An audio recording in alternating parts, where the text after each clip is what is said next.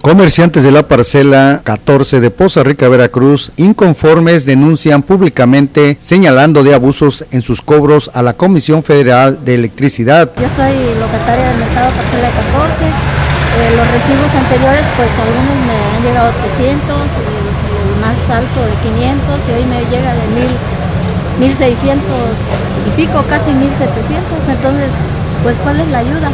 Y cuál es el, apoyo que según se nos va a dar o se nos está dando. Este recibo es de dos meses. Me llegó la cantidad de 59 pesos. Es de dos meses. Ajá. Y después, posteriormente, llegó, llegó una compañía, no sé, este, dejaron una tarjeta que se llama Inteligente. Ajá. Bueno, mensualmente estaba pagando esta cantidad de 36 pesos. Ahora, este, este recibo fue de, de septiembre. Uh -huh. Bueno, ahora me están cobrando el de octubre y me llegó de 101 pesos.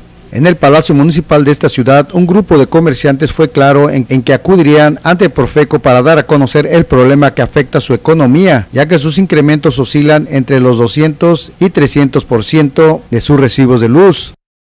¿Cuánto? Casi el 200%, ¿no? ¿Te imaginas?